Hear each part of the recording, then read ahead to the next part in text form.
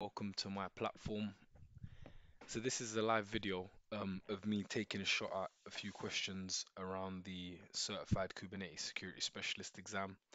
Um, hopefully, if you do find this uh, useful, you could sort of bookmark it, save it, share it, uh, stick around for more.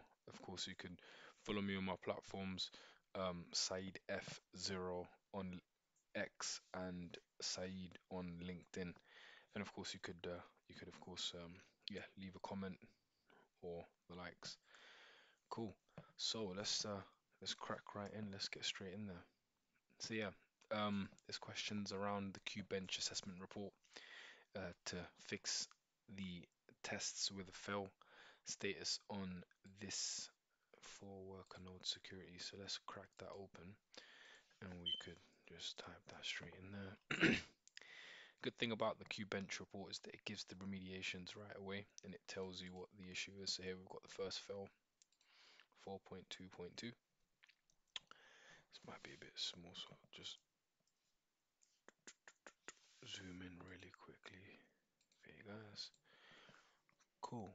So let's ensure that the authorization mode is not set to always allow. So this is a um, one node cluster. So um, of course in the exam you'd have to SSH into the worker node and you know make the configurations there. But in our case we've only got one so it's provided the path. So let's crack that open take a little look at it. So we've got the anonymous false webhook set to true authorization mode. There we go. So this is the bit it's complaining about so we'll set that to webhook and we'll just save that. Cool. Let's take a little look at the second issue. There's another fail fail. Ensure that the protect kernel defaults argument is set to true. Let's take that. Another thing is it, it, it sort of gives you the validations here and yeah I'd probably advise not to get used to that because in the actual exam you wouldn't necessarily have that. So let's just hit search and on this little point here and we'll look for that. There you go. So default kubelet behavior for the kernel tuning. If set kubelet errors Yep, there we go. So this is the flag that we need, of course.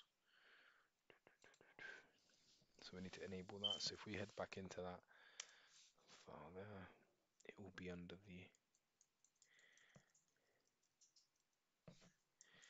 this sort of segment here. Of course, not in the form of flags.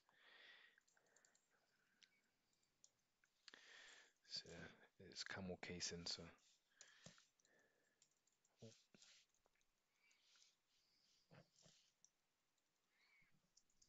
So we'll enable that. Here we go. After you've fixed the issues, you can update the publish report in the Kube-Bench assessment report tab by running this script right here. Oh, it's not really a good time to verify me now. we can minimize that. So yeah, let's run that run that script. Let's have a little look where we are. There's that cube. Publish the Kube-Bench script. Cool. And then we can open this up and we'll look for that same section here. So there we go. No more fails. Or failures rather.